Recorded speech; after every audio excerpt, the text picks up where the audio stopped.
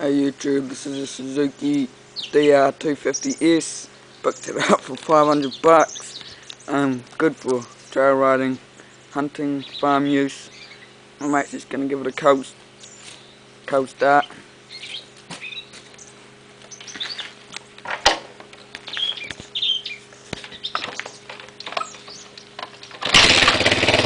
Look at that, started first pop.